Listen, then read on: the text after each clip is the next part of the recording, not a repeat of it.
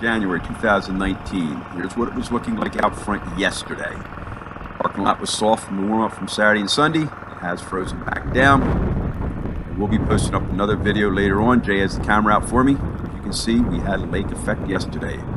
Blowing and snowing all day. Check it out there on the left side. It's about three inches, almost three feet.